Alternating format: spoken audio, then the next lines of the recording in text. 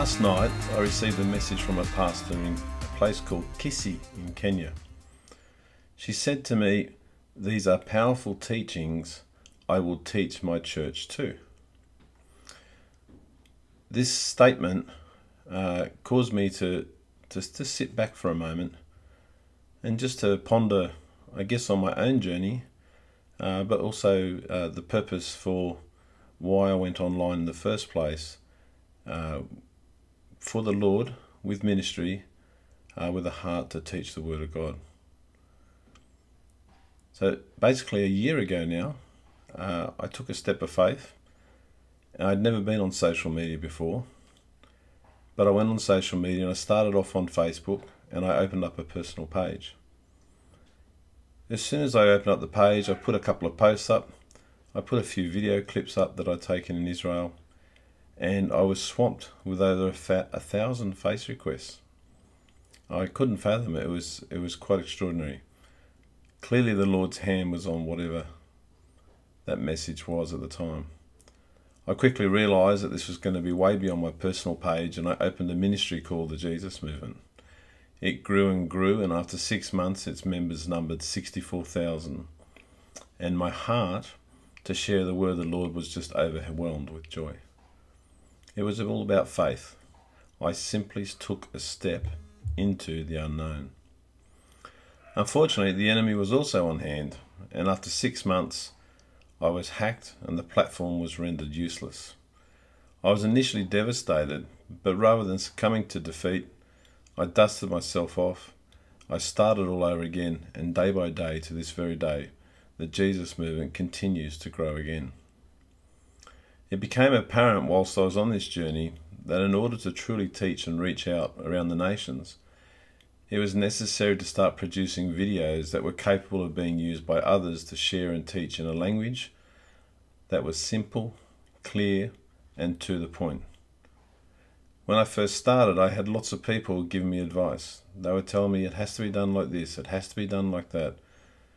But the problem was is that it alluded to the fact that I was basically being told or groomed that it had to be a performance. And I wasn't interested in that. The Lord called me just to teach, simply teach. It doesn't matter how long it is. If people want to listen, they'll listen. If it's long and they don't have time, they can watch it on more than one occasion. The point is that the word of the Lord is the word of the Lord, and that was what I was called to do. So today, these videos on YouTube have sort of spoken for themselves. They've now been watched over 30,000 times and they're actually being used to teach others as individuals, in groups such as Bible studies or life groups, and even in churches around the world. It's just truly humbling to think that one step of faith can generate such a large ripple. Very inspiring. It inspires me still to this day. Every day I receive personal communication and feedback from people all over the world. They express their gratitude. They ask me to visit churches and conferences to speak. They ask me to set up Bible colleges. They ask me to be a director. They ask me to participate in many different ways. And usually, almost always, I get asked to provide resources uh, because there's such a hunger. So I'm doing my best. But here's the kicker there's so much need in this world, a real hunger for Jesus and the gospel, that I despair when I see so many good people who want to do something to help, but don't know where to begin. I despair that the entity that we call the church often fails to provide practical, hands on training to disciple and equip people to do God's work because they're so busy training people to serve the church. I understand that we need to serve our church, but the church needs to serve the community, not just those inside the walls, but those who are yet to come in. We are not here to form clubs. Jesus taught in the synagogues, but when I read my Bible, it seems apparent that he spent much more time outside amongst people in the community teaching the lost whilst the Holy Spirit performed miracles through him to reveal both his uh, divinity to all that he encountered and also to show that there was a power, a supernatural power that only comes from our Heavenly Father. He was crucified publicly, and then he revealed himself publicly after he rose again. It only serves to show us that the purpose of the church was within him, the person, not in the premises he visited. I always recall when he went to the temple, his father's house, and he was so angry at the money changers that he flipped their tables over and cast their money everywhere, because this was not the purpose for which the temple was built. Leaders and pastors today must disciple and equip people to become apostles to go out. They must set forth, they must become the sent ones. It's not something that we should be doing to seek to find followers to fill seats in our churches when they're just sitting idle. I know that this message may anger some and it will challenge some, but so be it. Let it be a catalyst for action. Let it make people think about what it means to serve the Lord. I know myself, I've been a Christian for a long time and I can't just sit on my hands and do nothing, nor should I be expected to. Today, many churches focus on sectors. You hear them say, Oh, we focus on the youth. Oh, we're more orientated towards taking care of the elderly. Oh, we're a family church. Oh, we're part of the school. Or you know, we're a, a, a church that uh, promotes entrepreneurs, teaching people how to make money for the kingdom, or so they say. But you have to ask yourself is this what church is about? Isn't church a place for all people? Doesn't the word community include all people? Isn't it a gathering place, the same as the synagogues of ancient where people did life together? Isn't it about relationship? Does your church look like a business? Does the need to produce income to serve outweigh serving the Lord with no income? Is the Holy Spirit bringing people to an anointed house of God, or is it the domain of marketing, functions, and events? Just have a look. Have a look at church schedules. We all need to learn we all need to receive teaching, but there has to be a purpose and an outcome to it. Otherwise, we are only growing head knowledge. And in my own experience, I love it. It's enjoyable and it's wonderful, but it doesn't save lives. Jesus came to save lives. Are we doing the same? Faith requires action. Faith is not idle. Abraham was called the father of the faithful. Why? Because God called him from what he knew, and Abraham went out from there into what he didn't know. Would you be prepared to do the same? If you are walking with the Lord and in relationship with Him, wouldn't you be doing everything you can to serve Him? And if not, shouldn't you be asking yourself why? Come on, people. Let's rise up and let's stand up. Let's not sit on social media anymore whinging about the woes of the world and the society that lives in it. Let us unite and make a difference. Ask your pastor to disciple and equip you to make a difference. Let me ask you, how many hours this week did you spend serving the Lord? Yep, serving the Lord. How many hours? Take a moment and think to yourself.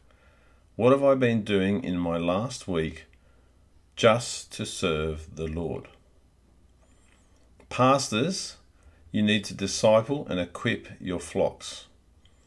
Let's not build strongholds, let's build fortresses. Let's build a worldwide army that goes out to conquer the world, not an army that's divided who only defends the walls of their stronghold. History tells us what happens when we do this. It is when the armies of God come together that revival will happen. Just like armies from different nations unite together to overcome a common enemy that they can't overcome on their own. If nothing else, I pray that telling a little of my journey and challenging what our walk with the Lord looks like will inspire you to take a step of faith. It's not easy. I know. I carry many burdens in order to walk with the Lord, and it can be very challenging to say the least. I find it frustrating that good and gifted people and pastors sit dormant in churches all over my country and all over the world. I find it frustrating that leaders become obsessed with building their church rather than God's kingdom. Why are churches always teaching that their way or their interpretation of the Word of God is right at the expense of other churches? What is going on? Isn't the Bible God's Word to us? I tell you what, the enemy must be really pleased. We have church division, we have pride, we have doctrine, we have dogma, and what does it do? It just separates us. There's not a day goes by in my ministry, and I've had one today from America, where people want to challenge this nitpicking of what we do, how we do it, etc. We have so much interpretation of the Bible rather than just doing as it tells us. We have people as Christians with a heart to divide and devour people. It sounds like the enemy to me. The Bible warns us about this wolves in sheep's clothing, raising the banner of the Lord and yet destroying their very own people. What is going on? We are in a time that we need to guard ourselves. Our reverence must be for God and God only. We should not see one another as competition, nor should we see the pulpit in our churches as the domain of an individual, as I've so often heard. It is the place from where we share God's word. It is God whom we serve. Let me repeat. It is God whom we serve and no other. God sent his Son so that you and I could come back into relationship with Him. Jesus died on the cross for this and said that as believers, you and I are to obey His commands. All of us, every individual. So we do what Jesus asks us to do. Do you accept the Holy Spirit will work through you? You know, we're at a time where many of us need to examine our hearts. I mean, really, how do you expect to do church for the remainder of your life if the only thing that you do is sit on the sideline and be a spectator? You need to be in relationship. You need to pray. You need to read and know your Bible. You need to be discipling others. You need to be equipped so that you too can equip others. The Lord tells me that as His creation, as a man created in His image, that I am sufficiently made. That means that I can do all things in Christ, right? All things in Christ. Then, if you agree, you don't need to change. You don't need to be like someone else. You just need to do. We are caught up in a performance mentality world at the moment.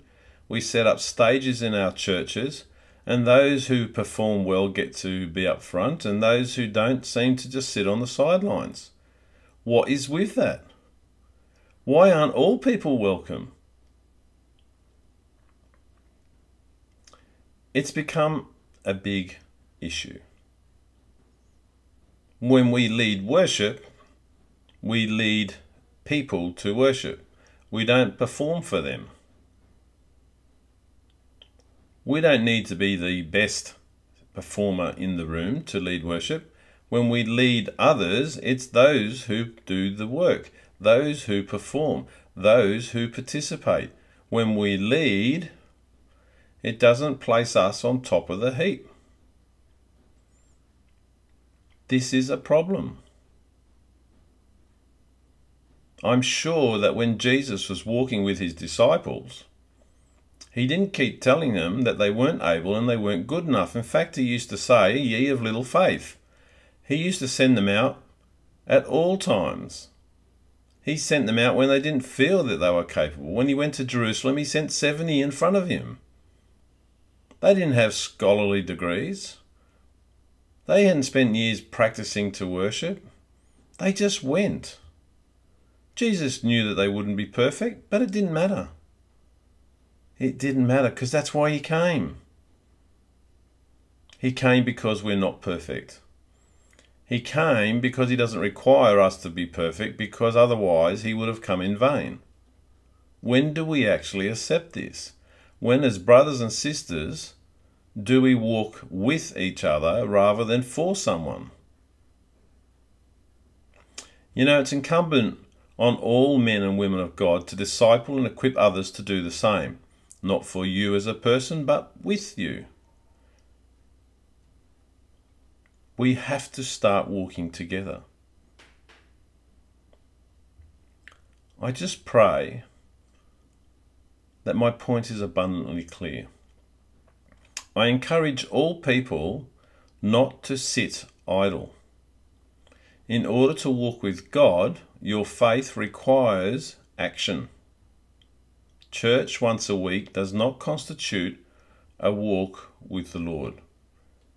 Let me close by asking you Are you in 100%? As we say, boots and all? Let's remember Jesus asked us to do this. We call it the Great Commission. We are to disciple we are to baptize, and we are to teach. That was a call to each and every person who has received salvation. Is this something that you're doing? Is this something that you know how to do? Do you need discipling and equipping? If you do, then you need to do something about it. If you don't have someone in your life who's showing you and teaching you and helping you and walking with you to do this, then ask your pastor. I just pray and I just give thanks for the, to the Lord right now. There's not enough messages that we receive today which are really saying it like it is. My year that I've spent on social media, I've just watched endless posts, verses from the Bible with nice pictures, people liking them. We all do it. I do it. We have friends. We want to encourage them, and so we participate. It's all good. But you've got to ask yourself does it make any difference? Or are we just pandering to our own club? Do we come together as like minded believers and support each other in what we already agree with? I mean, it's all good fun, but what's the point? We need to do this. We need to encourage each other. But we've also got to do what the Lord asks us to do. And that requires us to get off our backside, get out of our comfort, comfort zone, and go out and do the Lord's work. You see, Jesus told us to do this. He also told us to go out until the four corners of the earth. That means all people in all countries, Jews, Gentiles, everybody. We can all make a difference. I don't know about you, but for me, I have one go at my life and I'm determined to make it count.